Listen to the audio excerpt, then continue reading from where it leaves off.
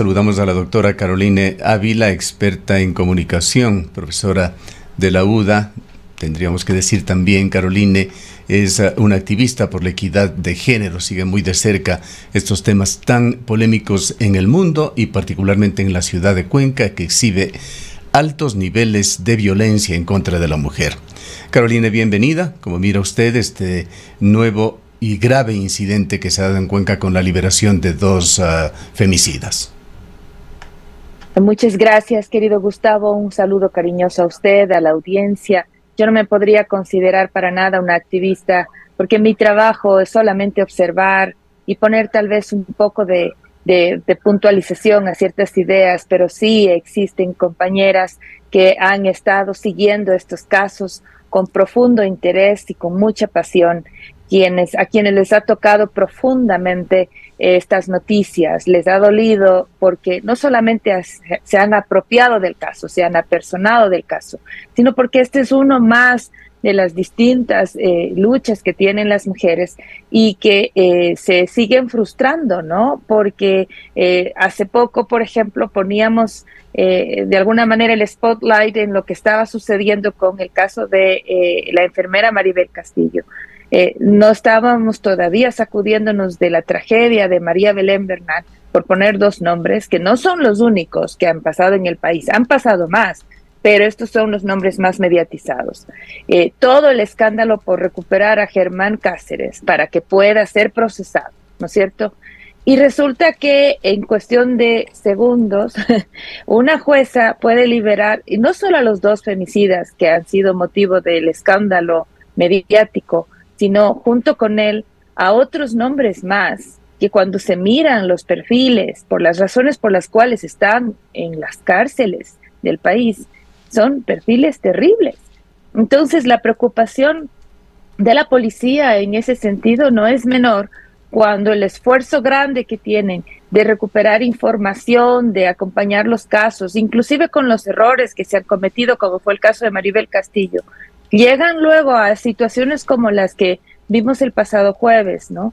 Entonces sí es eh, preocupante el estado en el que se encuentra el sistema judicial, la justicia en sí mismo. No queremos generalizar, sabemos que sí son casos de excepción, pero esos casos de excepción son los que manchan la reputación y el prestigio de un sistema judicial. Y un país sin un sistema judicial, una sociedad sin estar amparada bajo derecho, bajo ley, pues no, no tiene a dónde más avanzar, ¿verdad?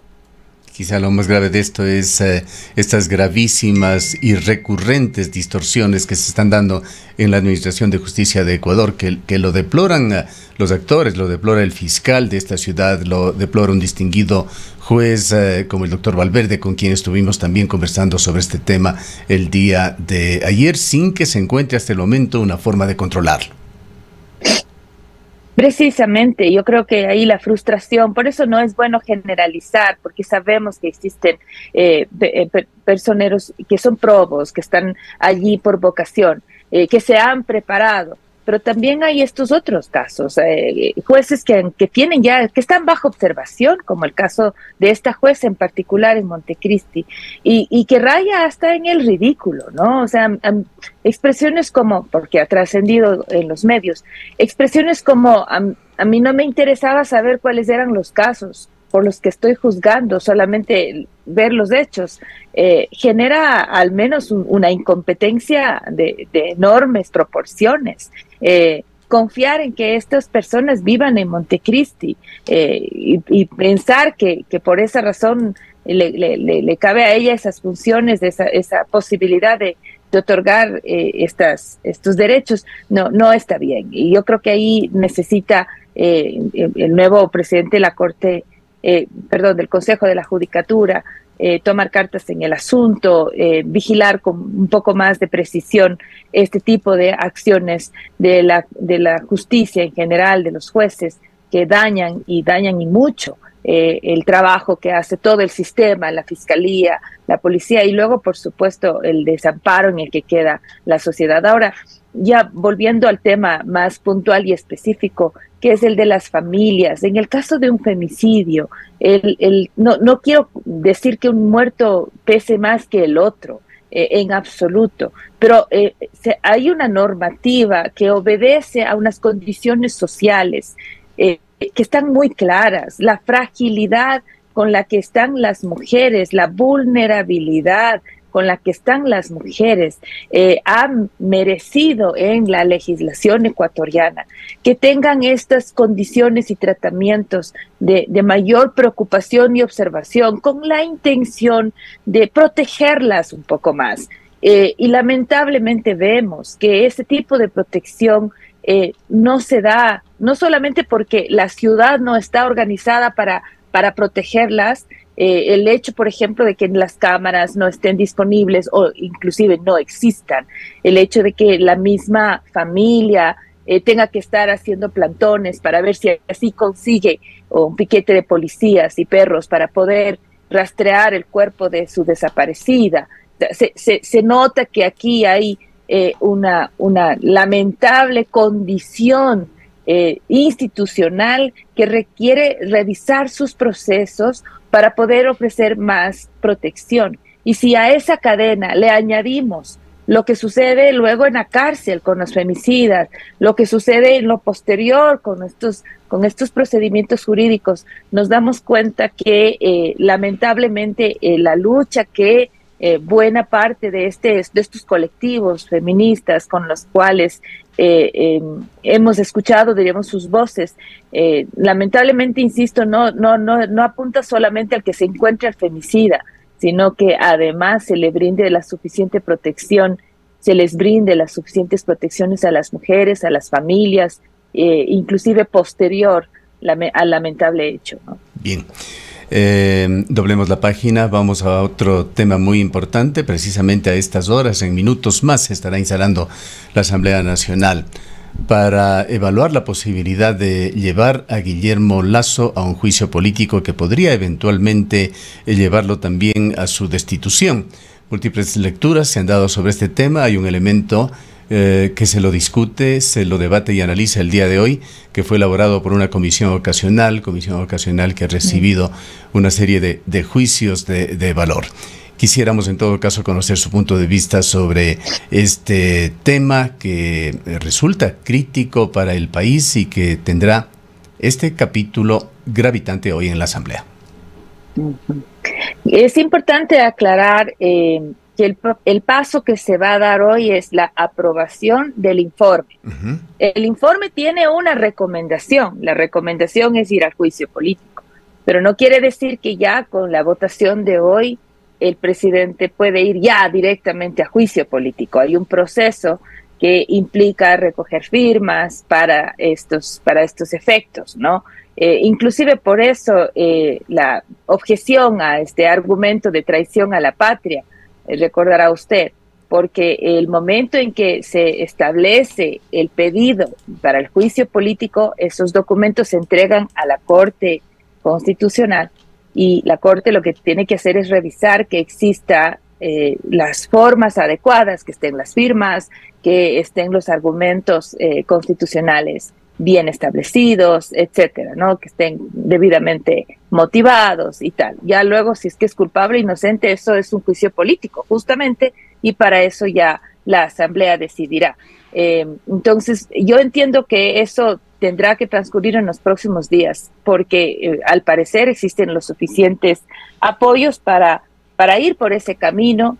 Eh, a pesar de las críticas que haya recibido eh, el trabajo de la comisión, que seguro es, criticable. La comisión debió mirar este informe y este, estos hechos en todo su contexto, no, no solamente aquellos dedos que apuntaban a Carondelet, habían, habían dedos que apuntaban a varios lados. Eh, pero parece, habrá que ver cómo queda el informe, pero parece que eh, existen algunas objeciones también en ese sentido, en ese contexto. Ahora, más allá de los detalles de, forma, querido Gustavo, yo creo que eh, hay algo en lo que yo he intentado más de un mes insistir, porque ya vamos más de un mes en este drama, ¿no? Eh, sí, sí, creo que la firma de esta semana del acuerdo comercial con Costa Rica será tal vez en semanas, en semanas, eh, una de las primeras noticias que el gobierno logra presentar como algo positivo.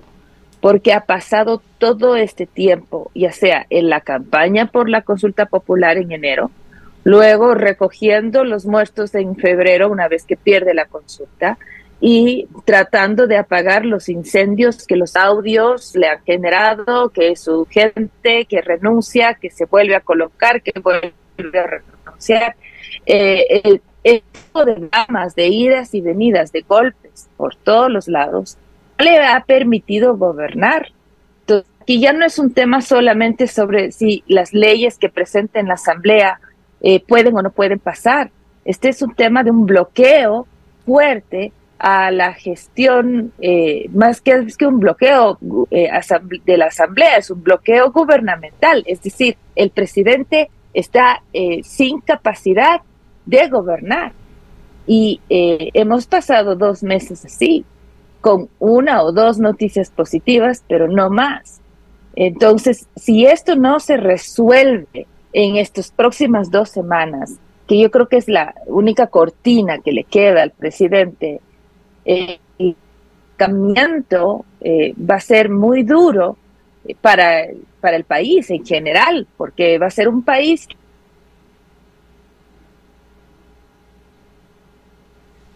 Aparentemente tenemos un corte. Ya, le seguimos escuchando, Caroline. Estamos con problemas en la comunicación. Decía que vamos a tener un, un, estancamiento tan profundo que vamos a tener un país que va a estar navegando en piloto automático. Entonces, una de mis principales preocupaciones es que si eh, este contexto político no logra desbloquearse, eh, vamos a terminar con un país absolutamente estancado. Vaya idea usted país, dicho sea de paso, cerró esta semana, el día de ayer, eh, superando ya los 1.800 puntos. E, es una gran prueba de qué es lo que está viviendo el Ecuador. Entonces, eh, yo sé y entiendo la preocupación que tiene la población, sobre todo un importante sector demócrata que él prefiere la estabilidad, la tranquilidad. Dios, ¿Cómo, ¿Cómo estar en contra de esa idea, Gustavo? O sea, imagínese, el problema es que si es que el gobierno no es capaz, eh, y yo creo que Henry Cucalón era una muy buena señal cuando, cuando se decidió ese nombre en el, en el Ministerio de Gobierno, pero eh, a renglón seguido, a renglón seguido, vuelve la inestabilidad a pesar de estos esfuerzos. Em, si, si el gobierno no es capaz de tender puentes, ¿Qué es peor? Ahí sí le preguntara yo a los cuatro escenarios de, de, Santiago Basabe, porque él ponía en un artículo cuatro escenarios, bajo el riesgo de que venga cualquiera, decía él, ¿no es cierto?, y que eh, nos intente gobernar. Y yo decía, eh, me le falta a Santiago un quinto escenario, el escenario en el que nos mantengamos dos años en piloto automático, con las amenazas de paro, con el riesgo país en donde claramente usted ya, le, ya, lo mencionó, y con eh, la muy poca posibilidad de hacer, eh, tomar decisiones o generar resultados concretos que solucionen en algo al país. Eh, esa es mi, mi, principal preocupación y yo no veo que el gobierno logre todavía destrabar este conflicto. ¿Le ve usted a, Guillermo Lazo y a su gobierno en una auténtica encrucijada? Y, lo peor de todo es que estando en la encrucijada, teniendo todavía un medio tanque de oxígeno,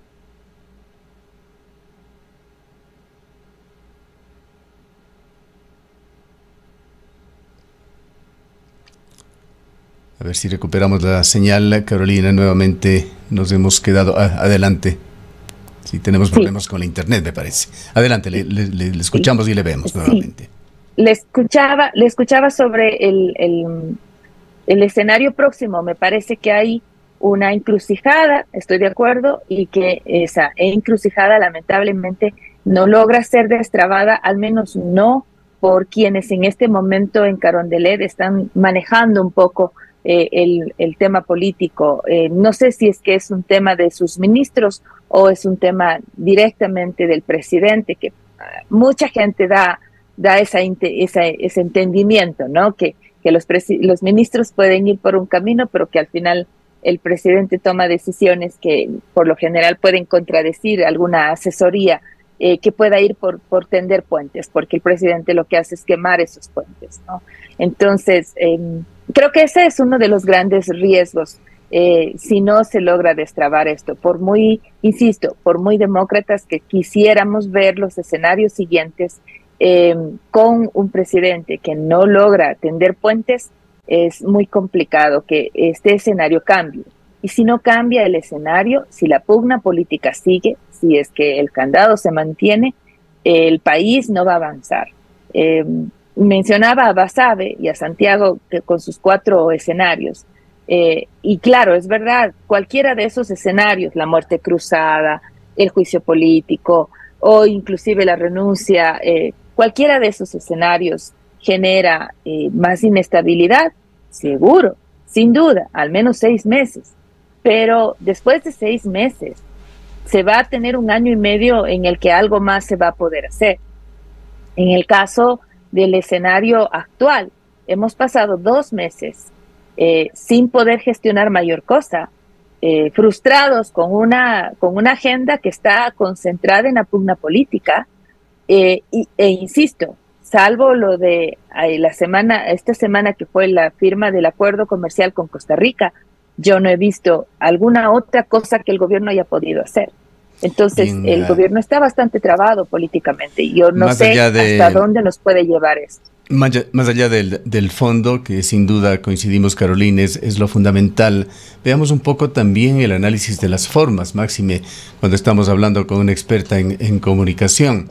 La eh, Comisión Ocasional de la Asamblea ha recibido múltiples críticas por la baja calidad de su informe, por las declaraciones eh, eh, exentas de, atributos positivos de varios de sus miembros que han dejado muchísimo que desear en sus alocuciones públicas. Esto ha llevado a una sentencia por parte de un destacado periodista, Roberto Aguilar, un artículo que creo que merece la pena que todos los ecuatorianos lo leamos. Los tales progresivos sirven de algo, escribió Roberto Aguilar. Y allí, entre otras cosas, concluye algo que se venía discutiendo y debatiendo mucho ya en la campaña electoral que acabamos de, superar, la baja calidad de los políticos ecuatorianos en general. Ahora Roberto Aguilar se refiere a los asambleístas y sentencia en este artículo que la política ecuatoriana le falta ética, que eso lo sabe todo el mundo, pero si tuviera por lo menos un poco de gramática, probablemente no sería tan fácil tomarnos por pendejos, literal. yo, a ver, también no me gusta generalizar. A mí, yo recuerdo todavía los discursos de Cintia Viteri cuando estaba en asamblea. A mí me gustaba mucho escucharla. O sea, tenía unas formas, a propósito de las formas. Tengo un estudio que está publicado en, Universidad Verdad, eh, que lo hicimos con Iliana Tinoco, en donde seguimos los discursos de tres mujeres, Lourdes Tibán, Rosana Alvarado y Cintia Viteri para que vea, Gustavo, que en esa diversidad, inclusive ideológica, hombre, habían interesantes abordajes eh, y, muy, muy, eh, muy dignos, eh, porque yo creo que es un tema de, de, cortesía, cortesía con esa audiencia, el prepararme un poco para poder expresar esas ideas. Es un acto de, al menos cortés, o sea, de, una mínima cortesía, ¿no? No quiero hablar de inteligencia ni de lenguajes eruditos, no, solamente quiero hablar de cortesía. Eh, yo trabajé con José Cordero Acosta cuando él era presidente del Congreso Nacional. Era un, Congreso que tenía ese nivel de debate y aún así José Cordero se quejaba, obviamente, porque sí, no se puede generalizar. Eh, había también de los, de los casos anecdóticos, pero por supuesto teníamos esa dignidad en el Parlamento, en el debate. Eh, soy muy fan de escuchar los debates en el Parlamento español, perdónenme, pero ah, ya cuando uno consume discursos políticos hace eso. Y, lo mismo cuando se hacen públicos ciertos temas en los, en los debates que hay, por ejemplo, en Washington. Y es muy bonito escuchar a, a, los, a los diputados o a los congresistas, a los representantes del pueblo, que con dignidad lo hacen, establecen discursos que les llevan a un espacio de representación en donde la gente dice que orgullo, ¿no? Indistinto de la idea, eh, ideológicamente hablando, ¿no? Que puede no congeniarse con esa idea, pero se puede respetar lo que se está escuchando. No es lo que sucede, lamentablemente, en la mayoría de las veces en nuestro Congreso, porque también quiero rescatar estos discursos, el de Cintia Viteri. A mí me gustaba también escuchar, por ejemplo, a Pavel Muñoz, hablando de, distintas voces, eh, el mismo Henry Cucalón cuando estaba de asambleísta, pero eh, no es el caso. Entonces, eh, primero generemos eso como, como con claridad, ¿no? Existen buenos nombres que hacen este espacio y este ejercicio del Parlamento como tal, con, con un mínimo acto de cortesía, con respeto a la audiencia, sí, sí los hay, pero no necesariamente los vimos en estas intervenciones más recientes que fueron publicitadas y eh, eso lamentablemente eh, nos, nos deja este, este, este desazón, ¿no? De a qué estamos poniendo en la papeleta y, no tanto quién, qué estamos eligiendo, porque recuerde que cuando se eligen eh, concejales, ahora asambleístas, eh, más bien es la responsabilidad del partido o movimiento político, más que del votante. Eh, si usted me pregunta, y, y en concreto le digo, ¿conocemos los cuencanos y cuencanas quiénes son los 15 concejales? Ni los periodistas les conocen, ni los periodistas, porque la forma como fueron elegidos fue en plancha. Nos tocó el día de las elecciones, ese rato, ver quiénes quedaban y algunos de ellos eran más identificados que otros, pero a la mayoría de ellos no conocemos. Y lo mismo va a pasar en unos años más cuando elijamos a nuevos asambleístas vamos a tener que escogerlos bajo esta premisa, ¿no es cierto?, de la gobernabilidad en, en grupo, eh, eh, los asambleístas nacionales igual, y no los ubicamos. Entonces, ante esa forma de elección, muy poco depende del, del electorado y sí mucho del movimiento o del partido político, porque son ellos los responsables de a quienes han puesto en esa papeleta y qué formación han tenido. Y vemos que sí existen, no quiero generalizar porque hay nombres y nombres, creo que en el caso de Cuenca, bajo honrosas excepciones, siempre hemos sido, bueno, no tan honrosas en este caso las excepciones, pero siempre hemos sido bastante bien representados. Entonces, pero no es, no es la generalidad. Ahora, más allá de qué es lo que hablan o qué expresiones dicen, me parece que eh, ha sido una, una, un trabajo bastante abrupto, muy golpeado, exacerbadamente mediatizado y eso siempre daña cualquier proceso. Eh, creo que sí necesitaban más tiempo. Eh, al final del día terminaron reflejando investigaciones periodísticas y no necesariamente reflejando el trabajo profundo que la Asamblea debió tener. Eh, por eso creo que se concentraron más en un solo actor o en un solo segmento y no en todo el, espectro que el riesgo implicaba y que creo que se debió hacer, inclusive por, por darle un poco más de objetividad, ¿no? A las, hay que ser y parecer, ¿no? Entonces las formas también cuentan, inclusive en ese sentido. Hombre, desde la portada del, del, del famoso borrador que circuló habrá sido verdad o mentira, y ya uno no sabe ni qué creer en lo que circula en las redes sociales. En realidad, todo eso, el, informe estaba así. tenía esa portada, Gustavo, pero parecía, o sea, es que, es que no está bien, o sea, hay que ser serios también, inclusive en esas formas.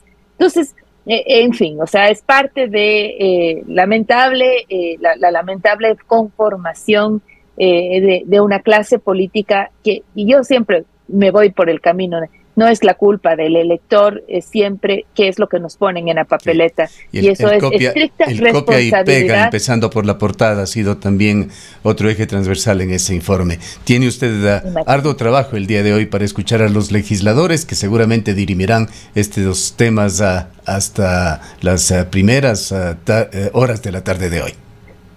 Ya estoy poniendo a hacer canguil, cafecito, preparándome estoy. Bien, muchas gracias Carolina por habernos atendido. Gustavo, gracias a usted siempre por su amable invitación. Un gusto. Carolina Ávila es eh, experta en comunicación, profesora de la Universidad de la SUAY. Son las